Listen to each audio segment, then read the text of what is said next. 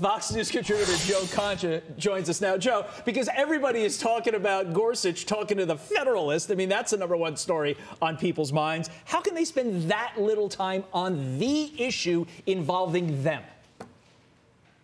Gotta love the view these days, Todd. Right? Where, where Whoopi gets a, a, paid vacation, she gets hundred thousand dollars a week to, to sit at home, and, and the conservative wow. on the panel is either a so-called conservative from CNN who literally endorsed Joe Biden during the, the 2020 campaign, or the person they had on yesterday who was a member of the Lincoln Project, uh, which actively works to get Democrats elected when they're not enriching themselves from people stupid enough to donate to them.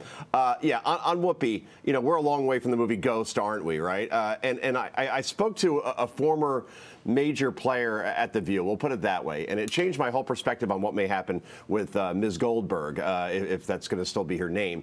Uh, basically, the, the, entire cast doesn't care for each other very much. And, and, some folks thought it was just a problem with Meghan McCain because she was the uh, conservative on the show. But, but it turns out all of them really don't get along in any capacity. And now you're seeing leaks from other co hosts uh, saying they don't want Whoopi to come back, period. Uh, probably because they don't, because it gives them more power and allows Joy Behar to become the moderator, so to speak, which, which, would be, you know, even more craptastic than, than the show already is. So while I thought the two week suspension meant she probably would come back uh, because she just signed a new contract that, that pays her seven figures, I'm not so sure about that now. Uh, either way, the views ratings are plummeting since Meghan McCain left, and, and the conversations uh, either are insipid in name or simply predictable. And we saw that yesterday when they're talking about how horrible Gorsuch is uh, instead of at least acknowledging what happened with Whoopi uh, with some sort of discussion for more than Joy Behar speaking for about eight seconds on the matter. Yeah, well, Whoopi Goldberg suspended for two weeks. Jeff Zucker not coming back to CNN at all. He resigned yesterday, yeah. apparently after failing to disclose a relationship with a colleague. What do you know about this situation? And do you really think that's the reason he resigned? No. I, I, mean, when you see this, Carley, and you have here a single uh, male executive dating a single female executive I'm pretty sure there's not much wrong with that. And I'm also definitely sure that that is kind of a thing, not just in this industry, but a lot of industries. We, we tend to uh, gravitate towards people within our own ecosystem. Uh, but then you have the chief media correspondent over there saying, wow, this is so stunning. Uh, no one knew about this. No, I'm pretty sure my mother in law knew about this relationship. It was the most open secret in this industry.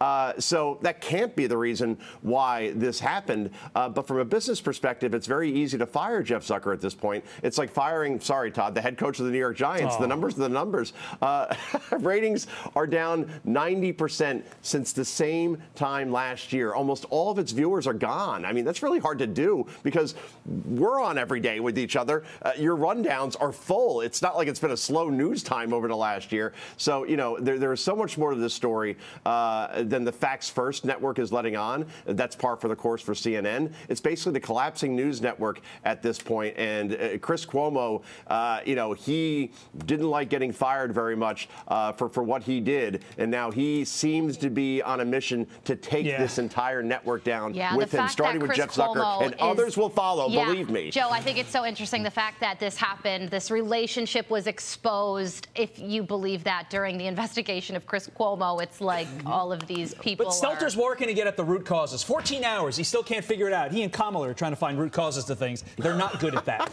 Joe Concha, thank oh, you very boy. much. Thanks, Joe.